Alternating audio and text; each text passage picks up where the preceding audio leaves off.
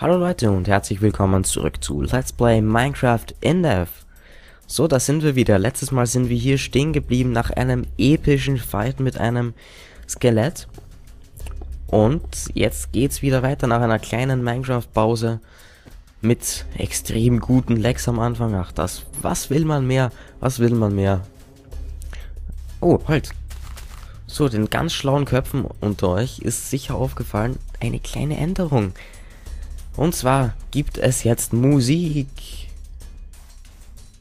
Ja, hui, Musik. So. Und zwar, ich habe mir eine Playlist angelegt auf den großherzigen und guten Tipp von Lord Toad LP. Da haben wir so ein bisschen uns unterhalten über meine Videos, was ich verbessern könnte, was ich anders machen könnte und so. Und das war ein gravierender Punkt. Minecraft, vor allem das Minecraft Inde, was nicht so spannend ist, ohne Musik. Hat ihm überhaupt nicht gefallen. Ich finde auch eigentlich, dass das langweilig war bis jetzt hier. Weil ich nicht so der Dauerredner bin und auch nicht so viele Gesprächsthemen bis jetzt angesprochen habe. Was ich natürlich auch ändern werde, aber jetzt hier eine Playlist ist schon mal ein guter Anfang. Und der, die werde ich jetzt hier einfach immer wieder ausbauen und schauen, dass ich genug ähm, Vielfalt habe für, äh, sagen wir mal, fünf Stunden oder sieben Stunden Aufnahmezeit, dass man nicht immerfort leiden muss und das ganze, die ganzen Musiktitel 10.000 Millionen Mal immer wieder hören muss. Entschuldigung. Es wird ja dann auch mit der Zeit langweilig. Also da werde ich dran arbeiten. Ich werde jetzt da immer wieder die Playlist überarbeiten und neu gestalten oder so, wie man das nennen mag. Und ja, wird sicher eine coole Sache, wenn ich jetzt hier fertig bin mit der Playlist. Ja, fertig werde ich wahrscheinlich nie sein. Ich werde hoffentlich ein paar Game-Sounds, ein paar Spiele-Klassiker reintun dürfen. Ja, da geht es ja dann natürlich auch um die Lizenz. Aber da werde ich dann schauen. Wird sich sicher noch ändern innerhalb von der nächsten Aufnahmesession hier. Und ja. Dann der nächste Punkt, was ich mir vorbereitet habe zu sagen, was wir auch, was ich auch verbessern möchte, sind Gesprächsthemen. Und zwar Gesprächsthemen insofern, dass ich nicht hier irgendwie so, ja, willkommen zurück. Jetzt heben wir hier eine Grube aus. So. Dann machen wir eine Monsterfalle. Und ich glaube, ihr wisst, was ich meine. Habe ich in der letzten Aufnahmesession leider gemacht, was ich feststellen musste.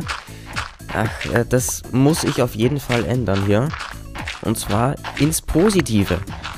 Denn ich habe mir ja so einen professionellen Zettel hergerichtet, wo ich mir ein paar Gesprächsthemen aufschreiben werde, auch in Zukunft. Stehen schon 1, 2, 3, 4, 5 oben. Oh, 5. 5 an der Zahl. Grafzahl ist auch so eine gute Idee. Ach, nee, egal. Ich schweife ab. So. Also, da habe ich mir ein gutes Gesprächsthema vorbereitet für diese Aufnahmesession. Und zwar Facebook. Mhm. Die Droge schlechthin habe ich es genannt. Und so, so, so, so. Zack. Da werde ich jetzt einfach mal ein bisschen vor mich hin philosophieren.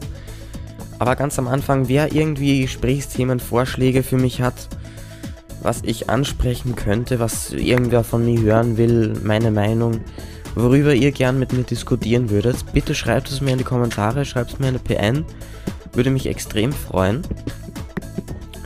Die tue ich dann einfach auch auf meine Liste, wenn ich, wenn ich da irgendwie drüber Bescheid weiß. Wenn nicht, erkundigt mich, Wikipedia gibt's, Google gibt's. Google ist ein Freund, wie ein toller Spruch meint. Da werde ich mich dann einfach erkundigen mal und dann das innerhalb von ein paar Tagen ansprechen halt. Also innerhalb von der nächsten Aufnahmesession, wenn ich die, wenn ich den Vorschlag bekommen habe. So, also hier mal der Aufruf, bitte schreibt mir Gesprächsthemen in die Kommentare oder als PN, egal unter wen, welchem Video. Ich lese mir alle Kommentare immer durch, alle PNs, gebe auch eigentlich immer eine Antwort. Bis jetzt war es nur zwei Kommentare oder so, wo ich noch keine Antwort gegeben habe. Und bitte macht es hier, dieser Aufruf. Ansonsten werden die Folgen etwas langweilig. Was ja keiner will. Nicht ich, nicht die Zuschauer. Und schon gar nicht ich. Ja, ich habe mich gerade zweimal genannt. Hast du toll gemacht. Willst du jetzt ein Eis oder einen Keks? Kann ich mir backen beides. So, jetzt zu Facebook. Einfach mal, es gibt 7 Milliarden Menschen auf der Welt, circa. Meinen ganz, ganz kluge Köpfe. Das ist auch so ein Gesprächsthema, habe ich mir auch vorbereitet. Aber dazu ein anderes Mal. 7 Milliarden Menschen auf der Welt, davon haben circa eine Milliarde Facebook. Also eine Milliarde registrierte Nutzer gibt es auf Facebook. Besser gesagt Accounts. Nutzer kann man ja gar nicht zählen, weil Multi-Accounts gibt es zu Genüge. Aber dazu dann später mehr. Da habe ich mir schon so ein bisschen was gedacht dabei bei dem Gesprächsthema, was ich hier vorbereitet habe in meiner unendlichen Vorbereitschaftskeit. Oder so. Und zwar 7 Milliarden Menschen auf der Welt, eine Milliarde Facebook. Soweit haben wir es einmal. Sagen wir mal, ungefähr die Hälfte von den Menschen lebt in Gebieten, die was zu arm sind für Internet, sich also Hunger leiden oder wer weiß noch was, die was einfach keine Möglichkeit haben, irgendwie soziale Netzwerke zu nutzen oder irgendwie überhaupt ins Internet zu kommen, die total abgeschnitten sind. Beispiele, ja, Afrika ist ein gutes Beispiel. Besser gesagt, ein Negativbeispiel, wie es nicht sein sollte. Die ganzen hungernden Kinder, Erwachsenen in Afrika können sich natürlich kein Internet leisten, können auch, haben auch überhaupt keine Möglichkeit, wenn sie so reich sind, um sich Internet leisten zu können, dass sie Internet benutzen können, geschweige, geschweige denn Facebook. Und davon, von diesen 7 Milliarden Menschen sind das dann die Hälfte, also 3,5 Milliarden Menschen, sagen wir jetzt einmal, sagen wir mal grob 3 Milliarden Menschen bleiben noch übrig. Diese 3 Milliarden Menschen haben Facebook. Sagen wir mal so. Äh, 3 Milliarden Menschen gibt es auf der Welt, die die Möglichkeit haben, ins Internet zu gehen, die Möglichkeit haben, Facebook zu nutzen. Dann gibt es natürlich die Kinder, die äh, zu alten Menschen, also die alten Menschen, die nie irgendwas von Facebook gehört haben, die das auch nie machen wollen würden, sage ich jetzt einfach mal, die können wir auch ausschließen. Das sind dann auch mindestens, mindestens 2 Milliarden, nein, mindestens eine Milliarde, sagen wir mal, die was zu jung sind für Facebook oder sagen wir mal jetzt ganz, ganz grob zu alt sind für Facebook.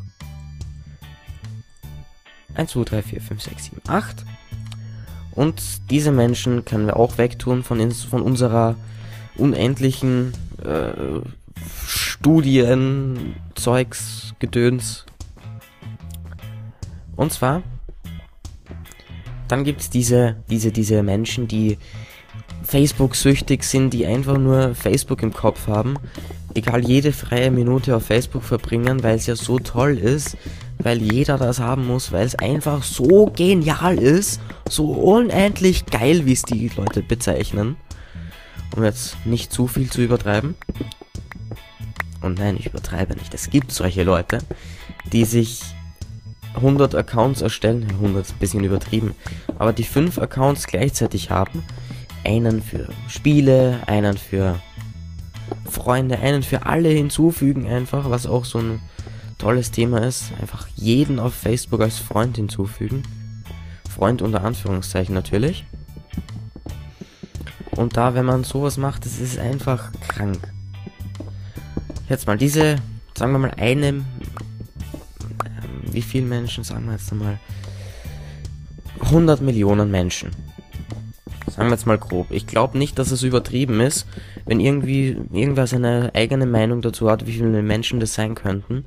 Ich sage jetzt einfach mal 100 Millionen Menschen, die extrem Facebook-süchtig sind und fünf Accounts haben. Tun wir jetzt mal verallgemeinern.